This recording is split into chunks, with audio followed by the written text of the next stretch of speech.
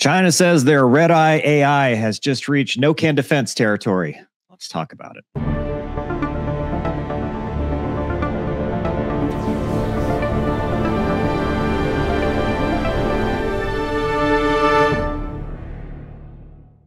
So, the South China Morning Post is reporting that China's Red Eye AI just killed human pilots' last hope to win in air combat, says the researchers as we laugh in AIM 9X at 60 Gs. So, the one advantage combat pilots had over artificial intelligence was unpredictability.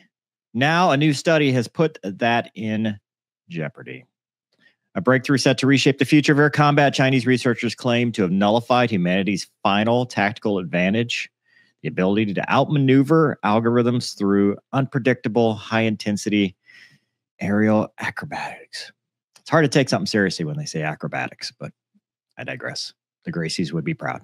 Detailed in a study published last year, the method combines advanced infrared imaging with AI driven predictive modeling to anticipate an opponent's moves by detecting subtle wing and tail movements. It's a development that could render even the most agile fighter jets, such as the US made F 15, virtually defenseless, according to a team of scientists for the Northwest Institute of Mechanical and Electrical Engineering. So the study addresses a critical flaw in existing AI air combat systems their reliance on trajectory based predictions, which struggle to account for sudden, nonlinear maneuvers executed by human pilots.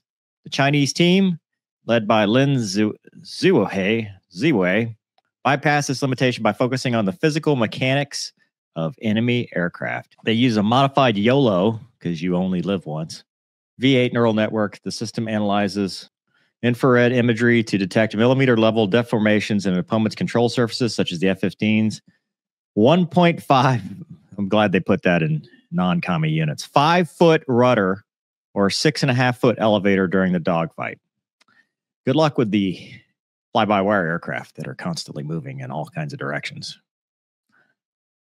These real time observations led to short term memory network improved with attention weighing mechanisms enabling the AI to predict maneuvers before they fully unfold. That's what it looks like.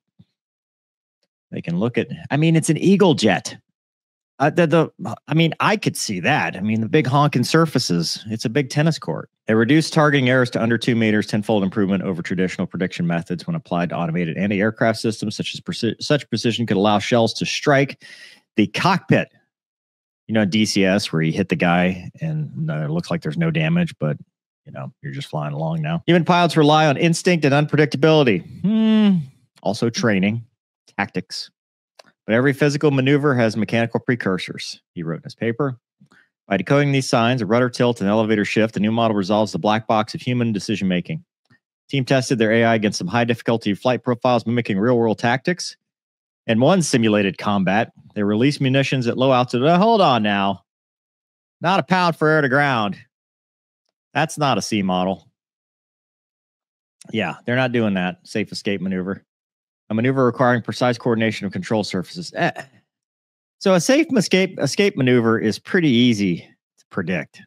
I mean, that's not all that impressive. In another, the jet made rapid erratic jinking and diving to evade fire. Now that one, okay marked by violent control surface adjustments. Maybe they're over controlling. In both scenarios, AI reportedly anticipated trajectory shifts within milliseconds of detecting control surface movements, leaving no window for evasion. The breakthrough arrives amid a global AI arms race in aerial combat. In 2020, the U.S. Defense uh, Advanced Research Project Alpha Dogfight trial shows AI superiority in scripted simulations, the AI took part in real world dogfights in a test for the first time last year. We'll talk about them in a second. I got some news on that. Chinese stre- team stress that their uh, system's role in fire control optimization rather than fully autonomous strikes. However, its principles align with global projects like the Loyal Wingman drones, which pair AI driven craft with manned fighters. Study validates its approach using existing hardware such as China's PS 800 infrared sensor, which achieves the required 0.375 milliradian resolution at five mile distances. Yet challenges persist. They could employ countermeasures such as high powers lasers to blind or even destroy the camera. That would be tough to do. So there's that part. So good and bad, right? You could see like PDCs from like the expanse, right? You put little guns on bombers and stuff and they can track and shoot and you can't outmaneuver. It gives you kind of a bubble of protection against missiles and drones and uh, fighters, other fighters, cool tech, right? I can see that being useful. As far as BFM, I think the general public is too obsessed with dogfighting. And by that, I mean, they always think, well, if it's a, a jet, we don't have to say fighter jet, we can just say fighter. If it's a fighter, it only does BFM, like this World War II dogfighting and stuff. That's such a small part of flying a fighter. Most of it is beyond visual range now. Even within visual range, most of it is infrared missiles, AIM 9X, Python, whatever. And these missiles pull 60 Gs or more. So they're highly maneuverable. And the best defense is not to get in that situation in the first place or have first shot opportunity so that you kill them before they even know you're there. Or you kill them before they can point your nose at you or before they can get their missile off the rail or whatever it is. So the dogfighting aspect, yeah, okay, whatever. Um, t- talking about the alpha dogfight trials. So in 2020, I did a video about this covering Heron Systems, their Falco AI, winning the alpha dogfight trials. I even talked to them. We did an interview with them. And then we did our own gamer versus AI, in which the gamer actually was able to win at least once. But it was tough. AI did some things that we're not used to because they're not living within the constraints that the human thinks of, like rear aspect shots, control zone, all that stuff. He was just taking shots, forward quarter, stuff that would be training rule violations in real life. So they were acquired by Shield AI, and that's now going into the Loyal Wingman, the NGAD, all that stuff. Um, so I thought it was cool that you know here's the update on those guys. But we did this, and it wasn't like a full scope. One starts at one end of the airspace, the other starts at the other, and we see who wins. It was a little different. So I can see a world where the AI is used for missile tech. You know, you can if you can put that into a a missile that can now maneuver at 60 to 90 Gs and predict where it's going. The problem is always going to be sensors, right? When you talk dogfighting, loyal wingman, and all that stuff, yes, they're using the IR uh, spectrum, but it's going to lose it in the sun right? You fly into the sun now at you know the, the heat source. It's going to have harder time looking down because the ground is hotter. It's going to have its limitations, and it's probably going to have countermeasures that you can use. Not lasering it. I mean, that's that's one thing, but you have to have a precision laser that can find that thing. The other piece to that is if it's fully autonomous, it has to have 360 degree vision because it has to, you know, if you're belly up, it has to still be able to see you to see what you're about to do because you're not if you're doing lag BFM, which is what we do, we don't always point. It has to be able to know what you're doing with your aircraft without pointing directly at you. So there's going to be limitations with that of, of what it can see. Now, could I see a world where it augments existing systems? Absolutely.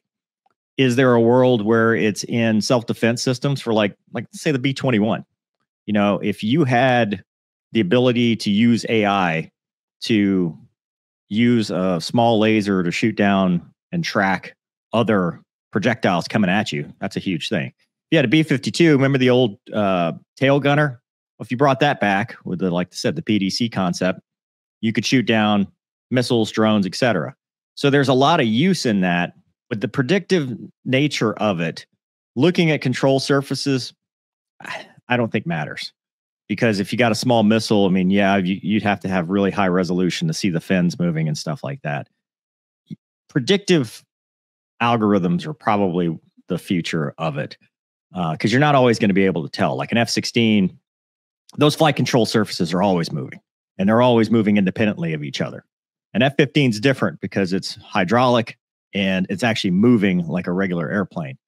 F 22 is going to be the same as an F 16, F 35. These fly by wires, dynamically unstable aircraft do not handle like you think. Now, does that mean that they're not going to be able to get there? No. I mean, with enough research and development, sure, you can get there. But dogfighting is not what you need because there will always be countermeasures to blind the sensors so that they can't see, to jam the radars, to jam everything uh, that could possibly be used in targeting.